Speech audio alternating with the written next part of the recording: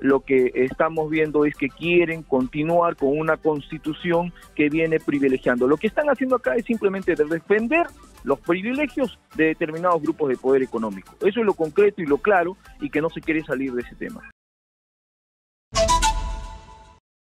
Nosotros vamos a ir rápidamente a una comunicación a propósito de lo que acaba de suceder en la Comisión de Constitución, que se ha archivado el proyecto del Ejecutivo para la Asamblea Constituyente. Bienvenido, congresista Jaime Quito. Él es representante, por supuesto, de Perú Libre. Congresista, bienvenido, exitosa Perú.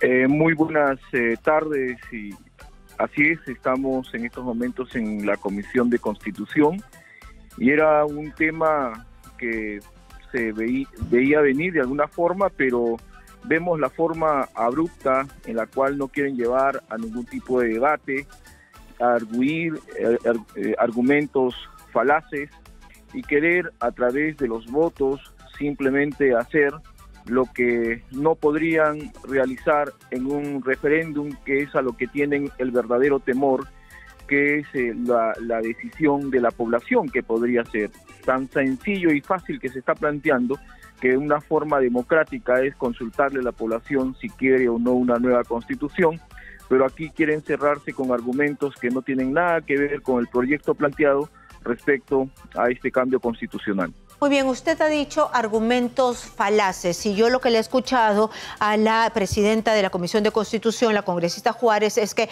no existe referéndum eh, en los términos que ha presentado el Ejecutivo, sino referéndum ratificatorio, entre otros. ¿Por qué usted cree y descalifica estos argumentos?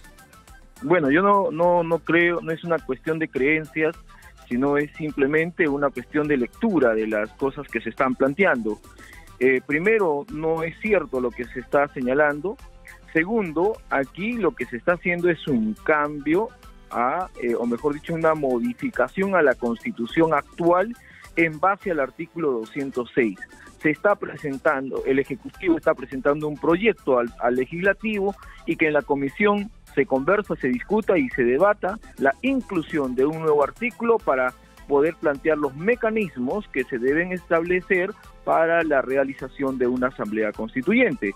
Y esta constitución lo, lo, señala, lo indica, y eso es a lo que se está ciñendo. Por lo tanto, no hay inconstitucionalidad, no hay ningún tipo de este eh, eh, eh, de lo que viene señalando la, la presidencia de la comisión, sino muy por el contrario, simplemente es sujetarse al artículo 206. Ustedes han tenido la oportunidad de llevar expertos constitucionalistas para que se pueda debatir, porque en realidad debatir sobre la base eh, de algo que no va a prosperar porque es inconstitucional, según los expertos. Entiendo que ella ha, este, ha ido a, este, a preguntarles, ¿no? Entonces, ¿para qué debatir algo que es inconstitucional y según las normas, lo que yo he escuchado, no se puede debatir y se archiva de plano? Entonces, ustedes en el momento de que se preguntaron expertos, eh, ¿sugirieron algún experto para que vaya y que trate de explicar en el seno de la comisión? Mire, primero no hay ninguna inconstitucionalidad. Lo inconstitucional, es lo que están haciendo el día de hoy. bajo esa lógica, lo que tendríamos que hacer es cerrar la constitu perdón, cerrar la Comisión de Constitución y el Congreso. Porque no se podría hacer ninguna modificación a la Constitución porque es casi como una Biblia inmodificable. Eso es lo que están planteando. Ahora, respecto a los técnicos, que yo considero que este problema no es netamente técnico, legal, jurídico, también es social y debe participar la población.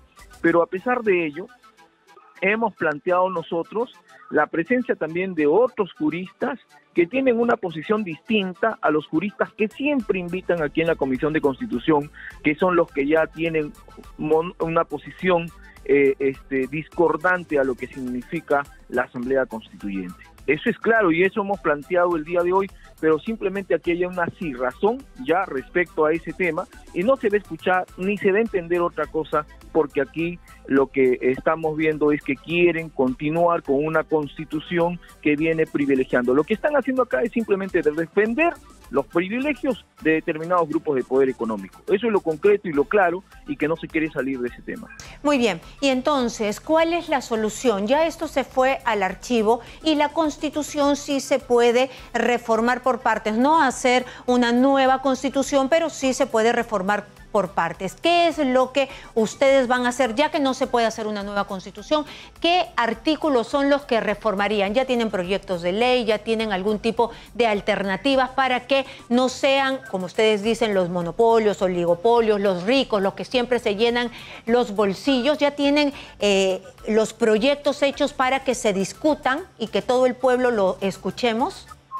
A ver, no es una cosa que yo crea, que yo me invente, sino simplemente basta ver la realidad, basta ver cómo las grandes empresas hoy se están enriqueciendo y con datos lo podemos ir planteando de cómo este la telefónica no dudo de, de, su palabra si no le pregunto sobre la solución. que tienen que ver con el gas que tienen que ver con todos los recursos el caso de Alicor que tiene el control también le pregunto sobre la eh, solución congresista. Hay algún proyecto de ley hay algo que podía reformar la constitución estoy respondiendo le estoy respondiendo. Es que usted, es que usted está dando pie a que también pueda responder. O sea, usted me, si me pregunta sobre una cosa puntual, le respondo sobre la cosa puntual. Pero usted está planteando otros argumentos y permítame también a mí señalar argumentos. Es que yo no simplemente, no es una cuestión de Jaime Quito o, de Perú Libre, es una posición simplemente de, ver la realidad que vive nuestro país y que hemos presentado, eh, aquí no se muere de ninguna manera de que aquí se, va a dar una nueva constitución. Eso va a continuar. Aquí el Congreso se pondrá de espaldas y se cerrarán los ojos respecto a este tema, pero son las calles y la población quienes van a exigir. Y por otro lado, este, diversos congresistas de Perú Libre, hay cerca de siete proyectos de ley que están planteando la modificación de determinados artículos de la Constitución y que van a seguir la misma suerte que el día de hoy se ha seguido porque según ellos esta Constitución es la Biblia y no puede modificarse absolutamente nada excepto simplemente para blindar o para mejorar las condiciones que ellos creen que deben tener los grupos empresariales en nuestro país. Muy bien, muchísimas gracias por estar aquí y eso sí no debería ser porque se supone que desde los dos lados, al menos de manera mediática, han dicho que sí, todo es perfectible, todo se puede mejorar, la constitución también, ¿por qué no? Hay que cambiarla, hay que, en realidad se pueden hacer algunas mejoras, si es que no se va a hacer una nueva, hay que mejorar la que tenemos y por qué no comenzar a ver qué es lo que se necesita el capítulo de, la representación, eh, de cómo eh, elegimos a las autoridades, cómo no equivocarnos nuevamente. Ese es un capítulo muy importante que se debe tomar en cuenta. Si hay que ver el capítulo económico, también qué es lo que falta mejorar en el capítulo económico. Eso es indudable, todo se puede mejorar. Muchísimas gracias a Jaime Quito, congresista de Perú Libre.